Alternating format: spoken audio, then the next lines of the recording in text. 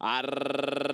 Arrancan las competidoras de la quinta competencia antesala al Golden Pick Six. Viene rápidamente la tordilla My Bluebell a tomar el primer lugar. Ataca la otra tordilla Lorete. Viene a buscarla por la parte externa. En el tercero se viene acomodando Josta Popping. Luego lo viene haciendo la número 3, la Iwa Horley. En el penúltimo se queda la Iwa She's So Pretty. Mientras que la número 4, Casino Games, se ha quedado en la última colocación. Corre a unos siete cuerpos del primer lugar. Domina My Bluebell, la francesa. Ventaja de un cuerpo claro sobre Loreta que viene a presionarle y se le acomoda solamente ahora medio cuerpo. En el tercero intenta movilizarse por fuera Horley. En el cuarto se queda Josta Popping en 24-3 el primer cuarto de milla. El quinto es para la yegua She's So Pretty, mientras que la número 4, la yegua Casino Games, se ha quedado en la última colocación. Domina My Blue Bell. Trae ventaja de tres cuartos de cuerpo sobre Loreta que está en el segundo. En el tercero Josta Popping. En el cuarto Horley. En el quinto por la baranda aparece She's So Pretty y continúa el 4 Casino Games en el último lugar. 49 el parcial para la media milla. My Bluebell está adelante, intenta la escapada, trae ventaja de dos cuerpos. Loreta está en el segundo.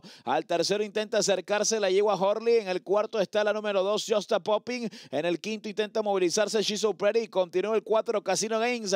En la última colocación, dominando My Bluebell la prueba. Ventaja de dos cuerpos y medio en 1-13 el parcial para los seis Furlong. My Bluebell escapada en punta con cuatro cuerpos en el segundo Loreta. En el tercero Horley. En el cuarto intenta acercarse por fuera Casino Game, dominando My Bluebell, aunque se está parando. Ataca ahora Casino Game con fuerza. Casino Game por la parte externa. Casino Game inmensa, la va a pasar. Aquí está la raya. Por dentro ganó My Bluebell.